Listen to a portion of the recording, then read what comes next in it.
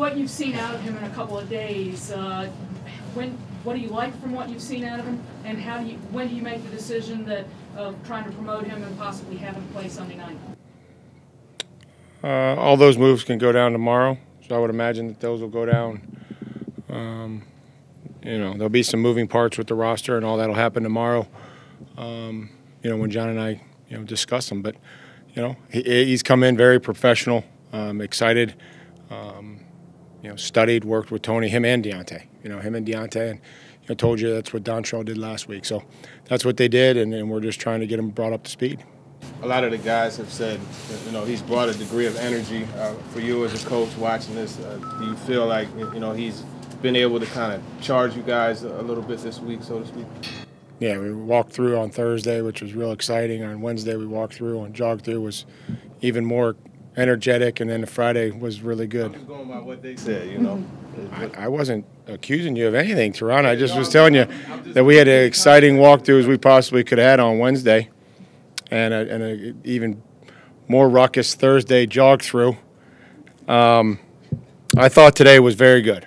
You know, I, I know we're we're beat up, but uh, I, I was very encouraged by what I saw today, um, just from a focus standpoint.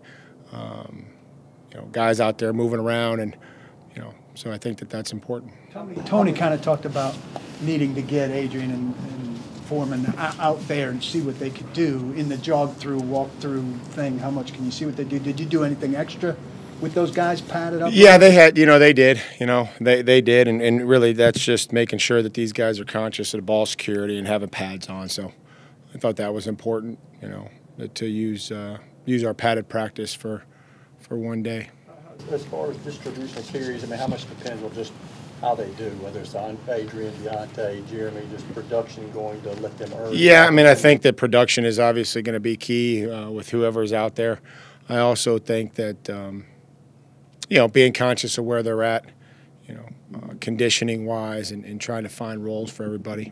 Does it allow you to be creative uh, with different guys in different situations now that you've got three or four guys that you're going to be choosing from? Mm, I mean, I think we'll just try to call whatever. You know, I don't want to like, okay, this guy is going to only going to run these types of plays. That really doesn't really work. It's hard for a, you know, a play caller. But um, you know, just trying to get them all brought up to speed. And we know that Jeremy's got a great grasp, and Dontrell's got a got a week here, uh, and then we'll see where D'Onta and um, Adrian are. Mike, with as much empty sets as the Rams like to run, what does that kind of put? What kind of strain does that put on the defense? Well, you know, you have to cover the entire field.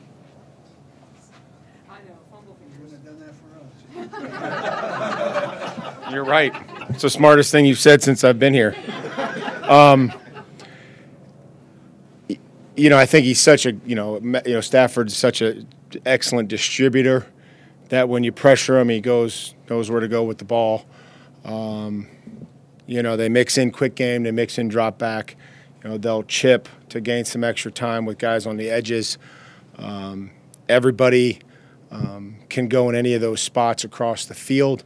So whether you know there's a running back at number one or a tight end uh, or a receiver in, at number three, they all run the same route. You know, whatever route they call that, just they go out there and they line up in different spots. So, you know, it does put a lot of challenge. You know. defensively to make sure that you know we get lined up, execute, and, and try to affect you know the quarterback. Mike was, was AD the kind of guy He's kind of been in different places the last couple of years. Have you always kind of kept an eye on you know if, if this ever was to happen with Derrick that you thought about him as a possible uh, good fit? Um. No, I mean, I, I not me personally. You know, I mean that's that's you know, I'm trying to coach the, the, football team that we have, and I, I think that, that John and his staff probably have, you know, a list of guys that they target and track.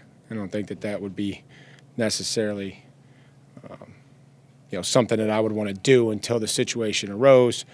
Where then we go over the list that they have compiled. You know, so that's really kind of how that goes down. But you know, aware of his career and, and what he's done, obviously. What did you need, given that? I mean, the, this, the conditioning, the, the shape, the, you know, the, the, the, the burst, you know, there's some cut it, you know, I mean, it's a normal, you know, running back workout that you would, you know, that, that our guys put guys through. Jayon's progress, guys, is the, the working for him. Good, good, yeah. So I would say, you know, hopefully, you know, we can we can start to uh, consider getting Jayon back in there soon, real soon. Have you checked in with Derrick again recently this week? How's he doing coming off surgery?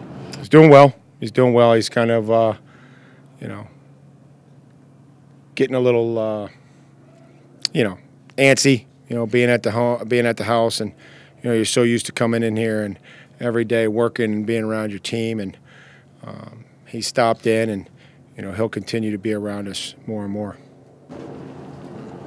Magic question? Uh, Evans, Davis, Blasing game.